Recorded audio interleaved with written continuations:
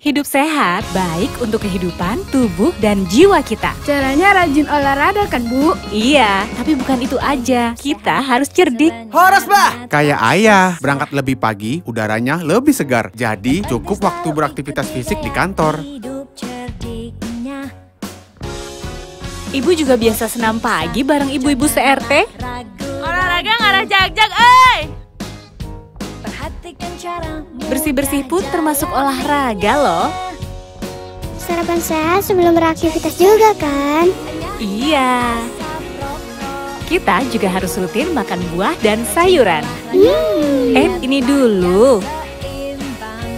Dan jangan lupa cek kesehatan rutin. Kenapa? Mencegah kan lebih baik. Hidup sehat ternyata gampang. Hidup sehat dengan cerdik, Pastinya.